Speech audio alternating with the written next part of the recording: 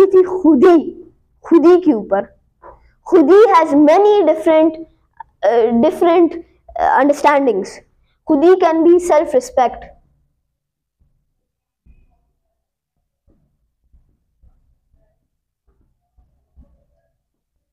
खुद ही self respect भी हो सकता है। खुद में बिलीव करना और अपने आप में बिलीव करना that is a part of खुद। ही खुद ही के अंदर गॉड का एक प्रस्पेक्टिव भी आता है। मुख्तलिफ़ परस्पेक्टिव आते हैं। हम एज टीचर्स मुझे पता है आप सब लोगों को ये सारी चीज़ें पता है।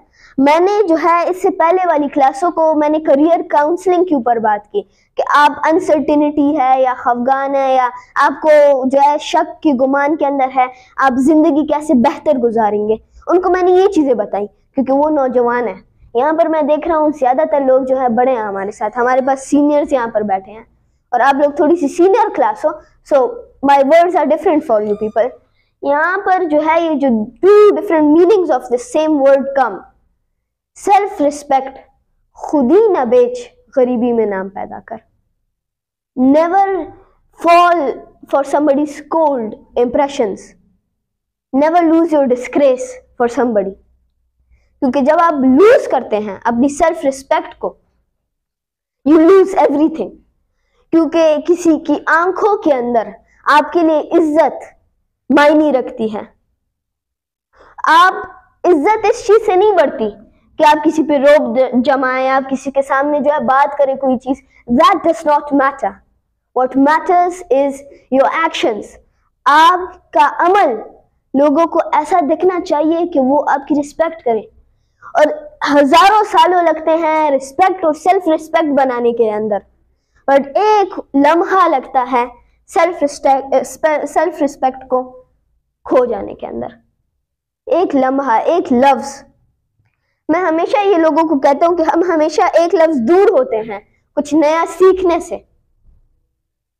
पर हम लोग एक लफ्ज दूर होते हैं, अपनी, अपने प्रॉब्लम्स में गिरने से, अपनी सेल्फ रिस्पेक्ट के डाउनफॉल में आने से।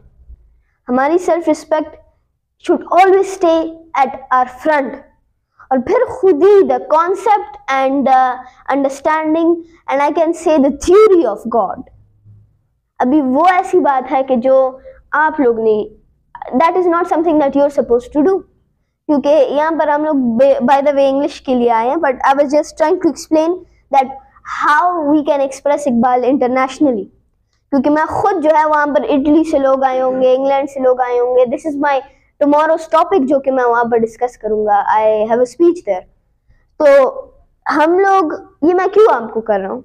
आपको समझाने के लिए। मैं खुद ही का और इन सारी कॉन्सेप्ट्स का सबको लगभग पता होगा, बहुत से लोगों को।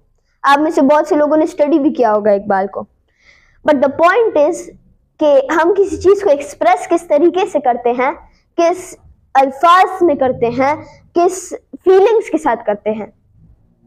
देखिए, कहा जाता है कि अगर गिफ्ट के अंदर आपको मिट्टी भी दी जाती है, गिफ्ट से फ़र्क नहीं पड़ता। उस गिफ्ट के पीछे जो प्यार है, उस गिफ्ट के पीछे जो मोहब्बत है, उस गिफ्ट के पीछे जो आपके लिए इज़्ज़त है, वो मायने रखती है।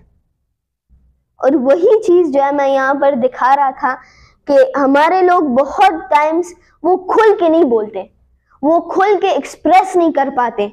इन देयर सर्टन लैंग्वेज हमारे बहुत बड़ी प्रॉब्लम ये है कि हम क्यों सक्सेसफुल नहीं होते?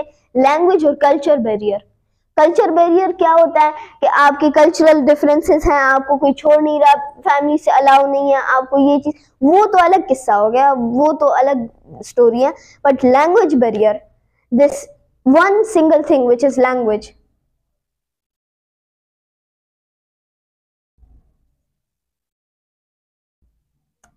sorry so this one single thing language यही हमें रोक रही है। हम अपने अल्फाजों को, हम अपनी फीलिंग्स को बयान करने से।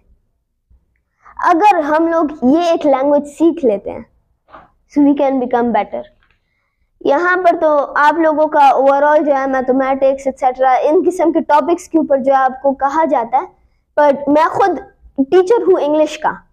तो मैं इंग्लिश के बारे में कहूँगा कि देखें आने वाले दौर के अंदर जो है आपको ज़्यादातर काम उर्दू नहीं आएगी। आप में से बहुत से लोग अब्रॉड जाएँगे, आप वहाँ पर पढ़ाई करेंगे, आप वहाँ पर मुसाफिर के तौर पर काम करेंगे, आप मुख्तलिफ़ चीज़ें करेंगे। आप वहाँ पर you may work in abroad etcetera so it is important for there आप अपने कल्चरल डिफरेंसेस असाइड करें, आप ये सारी चीज़ें सीखें ताकि कल को आप अपने बारे में और अपने हक और हकूक को ज़ाहिर कर सकते हैं। हमारे मुल्क का क्यों नाम बदनाम है? हमारे लीडर्स तक उनको तो ये तरीका नहीं आता कि वो जो है इंटरनेशनली सारे लीडर्स के बीच में बात कैसे करें। उनको ये तरीका नहीं आता। तो वो हमारे मुल्क को क्या खाक समझाएँगे लोगों को हमारे मुल्क की इज़्ज़त की? नहीं समझा सकते। हमारे ओवरऑल uh, जो भी है we don't have the communication skills हमारे पास कम्युनिकेशन स्किल है ही नहीं कि हम लोगों की अटेंशन को ग्रैब कर ले। हम लोगों की अटेंशन को हमारे ग्रास्प हो हमारे ऑडियंस पे। लोगों की नहीं है ये यहाँ पर। तो जब आप लोगों ने ये आर्ट मास्टर कर लिया this is one of the biggest points अगर आप जो भी फ़ील्ड में जा रहे हैं अगर आप एज ए इंजीनियर काम करेंगे एज ए टीचर इवन इस तरह हमारे साथ यहाँ पर टीचर्स भी बैठे हैं बैग के अंदर। सो so, देखिए टीचिंग के अंदर ये मकसद ये मायने नहीं रखता कि आप क्या टीच कर रहे हैं। बट आप किस अंदाज से टीच कर रहे हैं? हाँ इट मैटर्स कि आप क्या चीज़ टीच कर रहे हैं और किसको टीच कर रहे हैं। दैट डज मैटर बट उससे ज़्यादा ये बात मैटर करता है कि आप किस अंदाज से टीच करते हैं। आपका कम्युनिकेशन स्किल कैसा है? आप किस लेवल पे क्या आपके बच्चे आपको समझे, वो पार्टिसिपेट करें। आपकी अटेंशन उनकी अटेंशन आपकी तरफ़ हो। That is what matters and other than that thank you so much for having me